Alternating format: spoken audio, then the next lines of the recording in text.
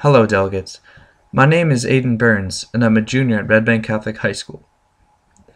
This will be my third year of Mod UN and my second as a chair. My first year of Mod UN, I was placed in the Social Humanitarian Council, where I first learned how to be a delegate. It was hard mastering Parli Pro and resolution writing at first, but with the encouragement of my chairs, I managed to get it.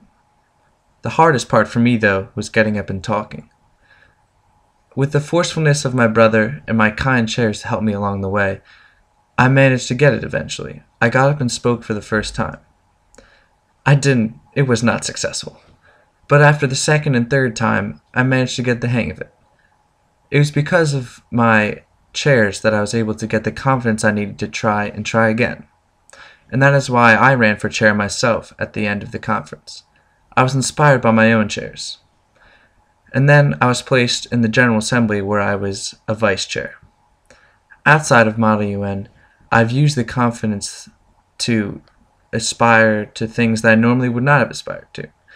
I've chased after things that I normally thought were not possible to me. And it's because of this that I want to be Secretary General. I want other delegates to feel the same confidence that I felt.